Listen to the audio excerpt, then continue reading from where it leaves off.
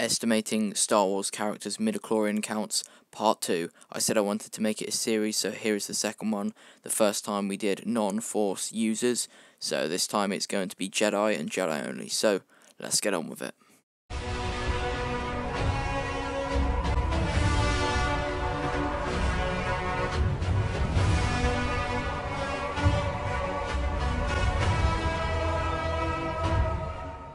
Okay, how did you like the intro? It was given to me by the same person that did my banner, Jackson the Great. So, I mean, go and subscribe to them if you want.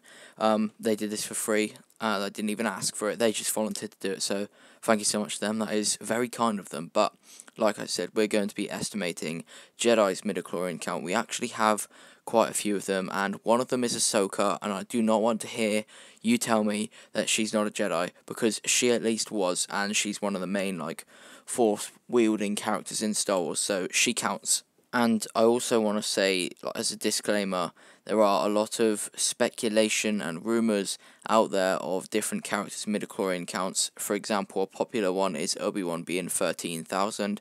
However, none of these are actually canon, so I will literally just be estimating based on what I've seen of them in films, series, comics, etc. etc. So, I'm going to play this clip of Qui Gon talking just to give a little bit of context before we start, and I'm going to show you a little paragraph on Wikipedia. So, listen to this. The reading is off the chart. Over 20,000. Even Master Yoda doesn't have a midichlorian count that high. No Jedi. Well, I guess that was more Obi Wan talking, but you got the message. Anakin Skywalker's midichlorian count is confirmed to be over 20,000, more than Yoda's. So, what we know there, and one of the very few things we know in canon, is that Anakin's is above 20,000, probably by at least a little bit, and Yoda's is below it. So, character 1, or Jedi number 1, is Anakin Skywalker. Now, we know as the Chosen One, his midichlorian count is going to be very, very high, and we know of that clip it is over 20,000.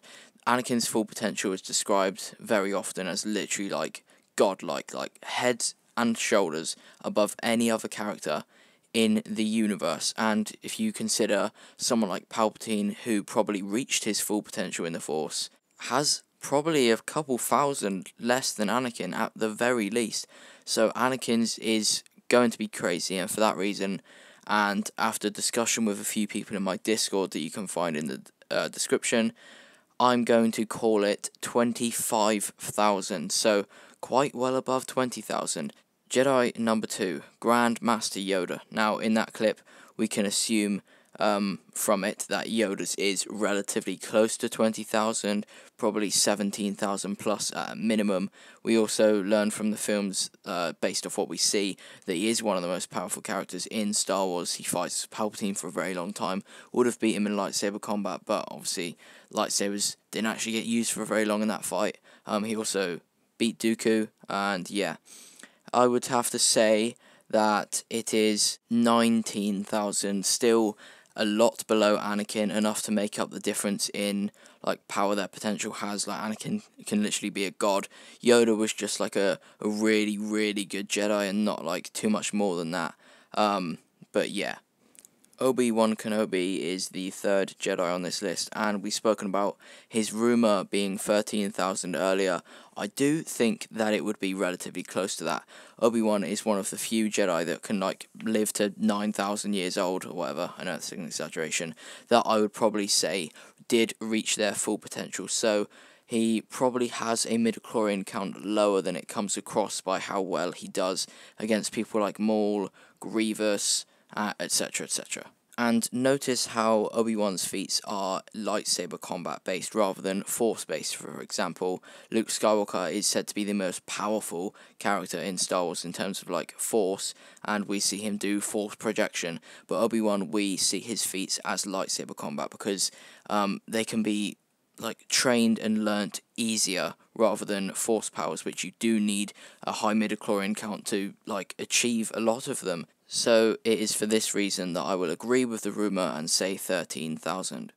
Now, Jedi number 4, Luke Skywalker, is a difficult one because we have not actually seen his prime, what I would describe. We've seen him in Return of the Jedi, uh, where he was good, but still very new to like being a Jedi, and we've seen him in The Last Jedi and The Force Awakens, where he recently shut himself off from the Force. So it's likely that when he opened himself back up to it at the end, he was not as powerful as him in his prime. So I am going to give you two answers. One of them being if we were to see a lot of Luke being literally like a god, like Anakin was meant to be, and another answer if Luke's power level is like the same as what we see in The Last Jedi, um, which is still crazy, but it's not like godlike like Anakin was meant to be. So, if we do see a lot of Luke become this godlike character, then I will estimate his midichlorian count to be the same as Anakin's at 25,000, and I will agree with what George Lucas says. And I hope this does happen, because obviously it came from George. George has like a special place in my heart as he did write Star Wars, so I want what him saying in the past to like come true in the future.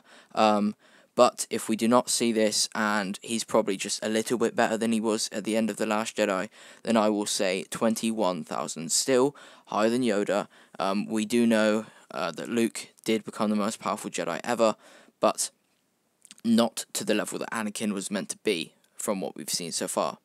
Jedi number 5, Mace Windu, one of the most powerful Jedi ever. He actually defeated Darth Sidious, one of the only, well, in fact, the only Jedi to defeat Palpatine, unless you count Vader turning back to Anakin and then chucking him off. Um, technically, but no, I'm not going to count that. Yoda would have done it um, if it was just a lightsaber battle, but it wasn't. So yeah, Mace Windu, incredibly powerful. And I know we're talking about Windu, but it's made me think that maybe I put Yoda's a little bit too high, as he has a massive advantage over every other character in Star Wars, and it's the fact that he's hundreds of years old. Like, it's very plausible that his midichlorian count is lower than someone like Mace's, but he achieved, like, every ounce of perfection in his powers. Like he could not get any more powerful. And obviously, Mace being a human, lived a normal human length of a life, probably didn't like achieve his full potential. But yeah, I'm going to stick by Yoda being 19,000, and I'm going to say Mace Windu is 17,000 because what we've seen of him definitely doesn't top someone like Yoda, Anakin, or Luke. Um, so yeah, uh, Jedi number six, Plo Koon. Now, Plo in Legends is very, very powerful, and that doesn't mean in canon he would be such like a big step down from that because like we don't actually see anything of him in canon really, so it's very plausible that he is so powerful. There's just no way to prove it. So this is the biggest like speculation and pure estimation um, of any character in this list, but I do think he would be really powerful. Not as powerful as him in Legends, to be honest. But I definitely think he would have a count above Obi Wan, say, but not quite at a Windu level. Um, I just really can't put myself like to say he has the same midichlorian count as Windu that we literally see uh, defeat Palpatine. The only way of explaining it would be the same for like all the Jedi that are spe- uh, separated when Order 66 happens. Like Palpatine knows how powerful they are, and it's potentially risky to him to have them on Coruscant and potentially come for him. So that's like the only explanation to if he was so powerful. Palpatine just got rid of him on purpose so he couldn't fight him. But I'm going to say 15,000. So 2,000 less than Windu, but still pretty high. 2,000 above Obi Wan. Jedi number 7 is Kit Fisto. Now, if we go off what we just said about Plo, he gets some minus points because Palpatine did not actively try and get him off of Coruscant uh, because he was afraid to face him or something. But um, I guess he doesn't do that with Windu either. Um, however, that could just be like the arrogance of the Sith. Like we know how they are. We know that they are arrogant. That is why someone like Maul loses all the time. Um, but back onto Fisto. I don't know where we went off track there. Um, he's definitely a very, very powerful Jedi. He's one of the top tier at the prequel time. Hence, how we see how like he handles General Grievous. Like he didn't kill him, but like he was not in trouble at any point in that fight he had with Grievous. So that's pretty impressive when you consider Grievous's reputation was literally slaughtering Jedi. So we know he's pretty good. I would say above Obi Wan and below Plo, like very in the middle of those two. And to be precise, I would guess fourteen thousand. Now Ezra Bridger, uh, Jedi number eight on this list does not have the most feats. Like he gets destroyed by Vader. He does okay against a lot of Inquisitors, but Inquisitors aren't exactly like the most powerful beings. Um, so it's harder to tell with Ezra. I think it is clear that he has a lot of raw power, and I think by the time of Ahsoka, we're really gonna see that, assuming Ahsoka does find him. So um, I know this may potentially be controversial, but I would say that Ezra Bridger has a count of the same of Kit Fisto, 14,000. I think that that could potentially be underestimating it, to be honest. Um, Maul could potentially tell that Ezra was quite powerful as he wanted him to be his apprentice. I think we definitely get hints throughout Rebels that he is slowly like overtaking Kanan. Maybe doesn't get there in the end, but is slowly heading towards that. Like we see so many incredible feats for someone of his age. He's a teenager. Like the connections he makes to all the animals, how he controlled the driver of the ATST to make it like shoot uh, their own stormtroopers and then like walk off the edge. Like Ezra is powerful. Um, so yeah, I think fourteen thousand could potentially be underestimating it. So I'm actually gonna I'm gonna say fifteen thousand. I've changed my mind. It's fifteen thousand in my opinion. Now number nine, Jocasta Nu. I assume that the Jedi have some kind of like minimum midichlorian number that they need of like all the blood samples they get um, to like recruit a Jedi, and I think Jocasta Nu is like the minimum of this. She is a librarian for a reason. However, we do see her in the comics do a little bit more um, when Vader and the Grand Inquisitor come to the Jedi Temple. I don't want to say too much about it, but she doesn't seem completely terrible. However, she is definitely of the lower scale of a Jedi, and I'm going to say that she has a midichlorian count of 9,000, which is probably quite low. I said Finn has 8,000, so yeah. Next up, Ahsoka Tano.